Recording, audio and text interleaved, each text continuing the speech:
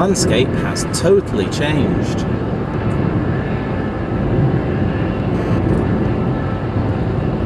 Silver birch and some very red kind of heather. Um,